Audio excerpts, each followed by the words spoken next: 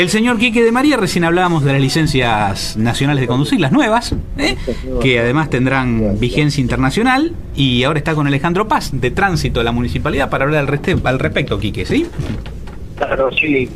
el tema es que Gallego ya venía otorgando las licencias nacionales, eh, como decíamos, algunos distritos habían adherido, otros no, pero bueno, ahí vamos a ver ahora, más allá de lo que vinimos informando hasta ahora, con el trámite de la licencia nacional, porque estuvimos haciendo notas en su momento, cobertura. Vamos a ver algunos detalles eh, a tener en cuenta para aquellos que a partir de ahora quieran tramitar la licencia nacional de conducir. Eh, qué detalles hay que tener en cuenta. Eh, hay también nuevas cuestiones relacionadas con las normas de seguridad, etcétera, pero lo escuchamos, si te parece, Alejandro Paz. Dale. Bueno, antes que nada, buen día, Alejandro. ¿Qué, qué se puede agregar a lo que venimos informando? Respecto de lo que es la licencia nacional de conducir, que ya hacía un tiempo que acá en Cañada era que se estaba tramitando. Sí, desde el día viernes al mediodía es que la licencia nacional de conducir con el formato anterior, es decir, nuevo formato respecto de lo que se venía otorgando por parte de la provincia, pero ese, ese formato que estuvo subsistente hasta el día viernes. A partir del día viernes a las 12 del mediodía todo ese, esa, ese tipo de, licencia se dejó sin efecto, mandó la Agencia Nacional a través de la Agencia Provincial de Seguridad Vial, obviamente, mandaron los nuevos insumos, donde, bueno, lo que hace es que tenga mayores medidas de, seguridad y a su vez... Por ejemplo, eh, eh, ¿cuáles serían estos? Y bueno, tiene mucho más datos eh, colocados dentro de la licencia, a su vez todos los hologramas y todo lo que se ve a contraluz. Más eh, difícil de falsificar. Digamos, es muy difícil decir infalsificable. No, no, digo más difícil, por eso digo más difícil. Pero es, sí, sí, es sumamente difícil. Hoy, hoy, hoy por hoy, eh, por el tipo de, de, de, carnet, tipo de plástico, y a su vez con el tipo de impresión tiene que tener una logística aquellos que se dediquen a esto, digamos, de, a cometer estos ilícitos, van a tener que tener una logística muy avanzada que al menos es, por el momento es prácticamente imposible. Pero a su vez, de estas cuestiones de seguridad, que no es un tema menor, lo también es que cumple con muchas normativas internacionales, es decir, cumple con normativas internacionales, con lo cual con este carnet se va a poder circular ya en 149 países. Eh, lo cual tampoco es un tema menor. Eh, así que la gente va a poder rentar un vehículo en el país que así lo, requiera y, va a poder circular con, esta licencia porque, eh, digamos, a través de los datos que se van a escanear en esta licencia van a tener todos los datos del titular de la licencia. Bien, para tener en cuenta. No, sí, sí. Y solamente lo único que se le solicita además ahora, a partir de ahora, es la constancia del quid. O sea, de todo lo que venía trayendo para la renovación, ahora es la constancia del quid. Es solamente eso. Se agrega entonces quid o quid, suponemos. Eh, por otro lado, eh, bueno, eso es lo que queríamos preguntar. ¿Qué tiene que hacer la gente eh, que quiera tramitar el carnet a partir de ahora? De todas maneras, entendemos, como usted dice, que pidieron vigencia los anteriores, quienes lo hayan gestionado siguen en vigencia hasta su vencimiento. Muy buena la aclaración y, te agradezco mucho, Quique.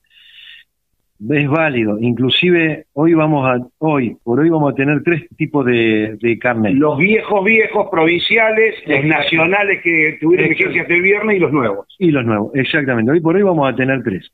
Pero sí, hoy siguen subsistentes, lo que no está más es ese, plástico en ninguno de los centros de emisión eh, de la provincia de Santa Fe ya van a estar en vigencia, además del país están hoy eh, los, nuevos, los nuevos, plásticos, con todas estas medidas de seguridad. Bueno, ¿y qué, dinero sale tramitar hoy un carnet de conducir el, estándar de, automóvil? Más o menos 600 pesos. Entre, todos los conceptos. exactamente, tiene lo que es, porque tenemos que dividirlo en lo que es el trámite municipal, netamente, lo que es el, el SENAT, que es el Certificado Nacional de Antecedentes de Tránsito, es una nota que remite el RENAT, el Registro Nacional de Antecedentes de Tránsito. Se abona, eso sale 125 pesos más el trámite municipal, más lo que es el psicofísico, que se realiza en el SEMI. Y además, eh, seguramente porque piden el análisis de sangre, que eso también es un, costo aparte. El que no lo tiene, porque el que ya lo tenía, eso ya, ya no hay inconveniente. Sí. Ah, bueno, aquel que no lo tiene o no tiene la constancia, porque nosotros solicitamos la constancia de su del grupo sanguíneo, del grupo sanguíneo. El que no lo tiene, bueno, tendrá que ir, es, una cuestión muy rápida, los bioquímicos lo hacen en el mismo día, con lo cual no hay, no, no hay que ir en ayunas, no hay que, no, no es un trámite bastante simple pero sí tiene que tener la constancia del, del grupo sanguíneo. Y la última, ¿cómo viene la demanda? ¿Está complicado? ¿Se puede sacar tranquilamente? Bueno, como ustedes verán y pueden dar cuenta, nosotros estamos con muchísimo trabajo todos los días eh, y esto tiene bastante, tiene que bastante y mucha relación eh, con los controles que se vienen realizando. A mayor cantidad de controles, la gente eh, viene más a, a, cumplimentar y a sacar el correspondiente carnet, que no hace más que lo que tiene que hacer desde el primer día. Eh, pero bueno, sí, la verdad que la demanda es muchísima, lo venimos llevando muy bien.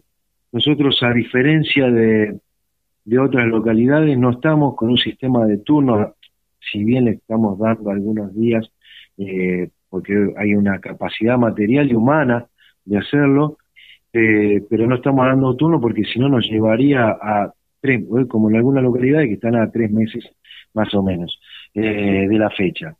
Lo vamos haciendo y en esto tengo que resaltar la tarea de toda la gente de, tránsito, fundamentalmente en este caso de la gente de, licencia del centro de emisión, de licencia de conducir, porque trabajan, digamos, si ustedes seguramente lo darán, darán cuenta de la cantidad de gente eh, que viene todos los días y entre en estos momentos se están tomando exámenes en el aula de educación vial de Sarmiento y 7 de octubre y más o menos debemos tener unas 20 personas.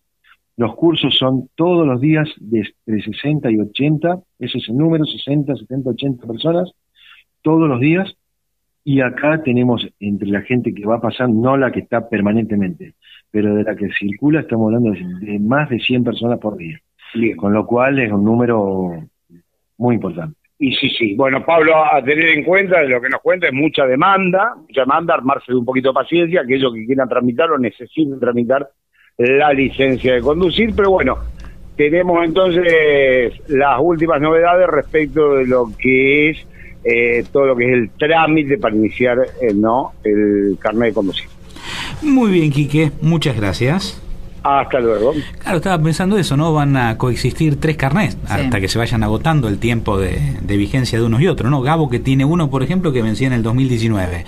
El mío que lo saqué el año pasado, o sea que vence en el 2021. Este, y ahora el nuevo que ya está este, en circulación, ¿no? Es así.